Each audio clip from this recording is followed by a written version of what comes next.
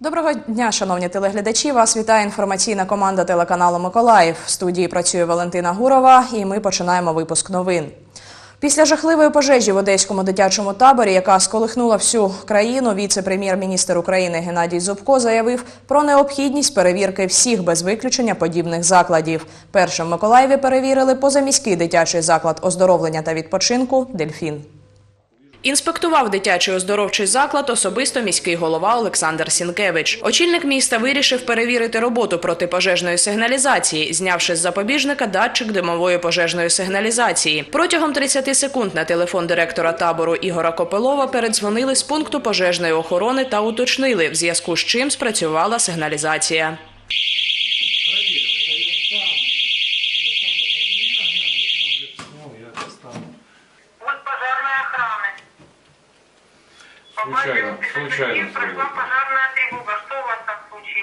Мэр, зама мэра проверяют детский лагерь. Мы сработали пожарную сигнализацию сами. Також міський голова звернув увагу на дату останньої перевірки вогнегасників і їх працездатність. Ознайомився зі ступенем пожежної безпеки в різних приміщеннях дитячого табору. Порушень виявлено не було. Крім того, Олександр Сінкевич дав доручення позначити відповідними наліпками місця знаходження вогнегасників та зробити знаки з підсвіткою для позначення найближчого виходу. Особливий акцент мер зробив на навчанні дітей і персоналу правилам протипожежної безпеки та поведінки на воді. Год, чтобы каждый заезд, каждая группа вызываете сюда представителя МЧС и работаете с ними. Работаете с ними, пускай они снимут там звонок, сработка сигнализации, эвакуация, то есть как бы день пожарной безпеки. В свою чергу директор табору зазначив, кожного заїзду з дітлахами першою справою проводять бесіди з техніки безпеки і робиться це неодноразово. И технику безопасности проводим. В каждом заезде, даже дети 7 лет, они все слушают, полный курс, расписываются в журнале, что они... Вот, я бы хотел, В цілому міський голова залишився задоволений результатами перевірки та дав завдання до наступного сезону, який розпочнеться 1 червня 2018 року, усунути всі недоліки. Валентина Гурова, телевізійні новини Миколаївщини. Нехтування елементарними правилами безпеки призвело до пожежі на балконі однієї з багатоповерхівок. Рятувальники встигли вчасно, інакше б збитки були суттєві. Горіло на балконі багатоповерхівки, що на вулиці Айвазовського, Корабельний район. Рятувальники, які прибули на виклик, піднялись на четвертий поверх і ліквідували загоряння площею лише пів квадратних метра. Горів матрац. Його скинули донизу і загасили. За попередніми даними, причиною загоряння став кинутий з верхнього поверху недопалок. Здавав запчастини авіаракет на металобрухт. У Миколаївській області затримано чоловіка, який на мотоциклі вивозив з військового полігону частини снарядів. Миколаївській області на території полігону Широкий лан військовослужбовці зупинили 25-річного водія мотоцикла, який перевозив два фрагмента некерованих авіаційних ракет типу С-8 калібру 80 мм, що містять вибухові речовини. Зі слів чоловіка, жителя села Нечайна Миколаївського району, він знайшов вибухівку на полігоні під час пошуку металевих виробів і збирався здати знайдене на металобрухт. Чоловік не підозрював про небезпеку, яку створив своїми діями. На місце події працювала слідчо-оперативна група Миколаївського відділення поліції і фахівці випотехнічної служби головного управління Національної поліції Миколаївській області, які прийняли рішення знищити небезпечні предмети на місці. Слідчі головного управління Національної поліції Миколаївській області розпочали кримінальне провадження за частиною 1 статті 263 Кримінального кодексу України незаконне поводження зі зброєю, бойовими припасами або вибуховими речовинами, що карається позбавлення волі на срок від 3 до 7 років. Євгенія Голубова, телевізійні новини Миколаївщини. Сьогодні вночі в Миколаєві на перетині вулиць Пушкінська і Велика Морська мопед врізався в автомобіль патрульної поліції Toyota Prius.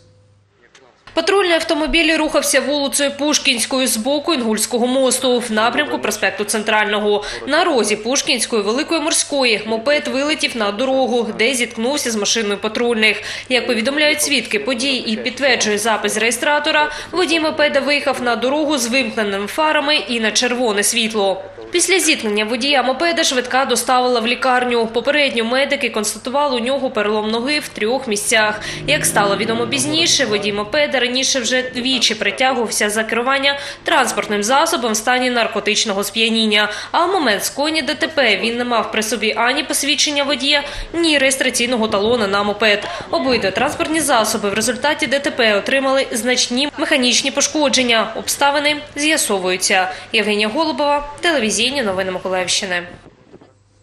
Стартував другий цикл школи занять практичного лікаря, а розпочинають його саме з Миколаєва. Що це за заняття та для кого вони призначені? Дивіться далі. Це спільний проект Українського лікарського товариства і військово-медичної академії. Адже кожні п'ять років медпрацівникам необхідно проходити переатестацію. Тож, аби полегшити цю процедуру, організували школу занять практикуючого лікаря. До речі, проект не має аналогів в Україні. Як я вже зазначив, е, лікар вчиться все життя. Я, для мене це було в новину, але я ще в 96-му році, перебуваючи на стажуванні в Бельгії, я бачив, як кожну п'ятницю все наше відділення анестезіологи збирались, їхали в якусь університетську клініку і слухали лекції. Потім вони писали тести там. От я спитав, що це? Ми вчимося, ми постійно вчимося. Повинні медичні працівники займатися самоосвітою, і потрібна освіта, треба їм допомогти. Всеволод Стаблюк не тільки доктор медичних наук, також він заслужений лікар України. Працює в медичній сфері понад 30 років. За факом лікар-анестезіолог, реаніматолог. Розповідає, такі заходи просто необхідні не тільки початківцям, а й вже досвідченим лікарям. Сьогодні ми будемо говорити про постконтузійний синдром і циркуляторну енцефалопатію, наприклад, тому що тільки офіційно ми маємо приблизно 10 тисяч е, воїнів АТО, які отримали поранення в голову. Це тільки ті, що зафіксовані, є латентні, і ті, що не зверталися, а потім воно виходить десь на рівні вже демобілізованих в цивільній медицині. Це про це треба говорити, це треба знати. І друге, дихальне захворювання дихальної системи, осінь початок сезону ГРВІ, грипу, пневмонії і так далі. Сьогодні на захід завітали понад три десятки лікарів, як молодих спеціалістів, так і досвідчених працівників цієї галузі. Серед них і Славоміра Антакова, незважаючи на медичний стаж, а це понад 50 років, не вагаючись прийшла, адже запевняє, що подібний захід вкрай необхідний для будь-якого медпрацівника. Актуальні і дуже потрібні. І в системі нашого, як сказати, життя вони дуже потрібні, тому що лікарі, які тут приходять, вони займаються з хворими безпосередньо, і відповідно до завдання нашого центру, як пропаганда здорового це формує мотивацію і в лікаря, і в пацієнта, змушує вести більш професіональний відповідно до населення, до громади діалог з пацієнт і хворий.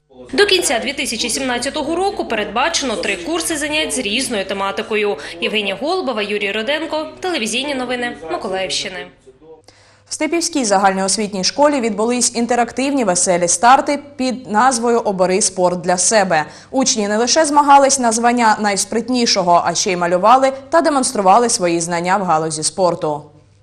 Захід відбувся в рамках святкування Олімпійського тижня, який в свою чергу приурочений до Дня фізичної культури. Учнів початкових класів розділили на три команди. Як хлопці, так і дівчата, прослухавши інструкції та правила змагань від досвідчених спортсменів, одразу перейшли до першого етапу веселих стартів естафети.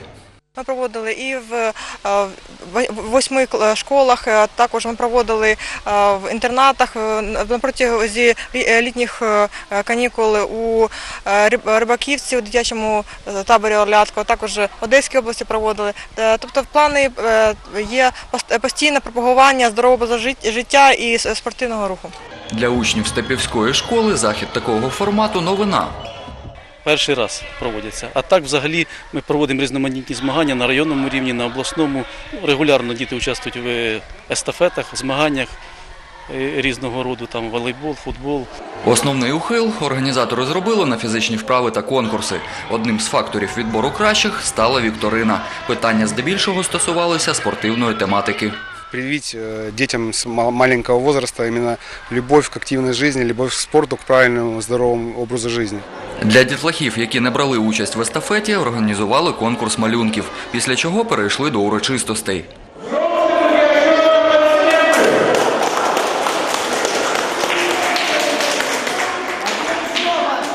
Мне хотелось бы м, таких мероприятий побольше, чтобы он каждый год был, и чтобы мы могли бегать, ст- стрибать и развивать свои мышцы. Мне очень понравилось принять участие в этих спортивных играх. Я очень рад. Ну, було дуже весело. Мені дуже сильно сподобалося. Е, Ігри дуже весело проведені були. Організатори запевняють, що навіть коли Олімпійський тиждень закінчиться, веселі старти в різних школах міста та області триватимуть. Олександр Гордієнко, Ігор Дорошенко, телевізійні новини Миколаївщини.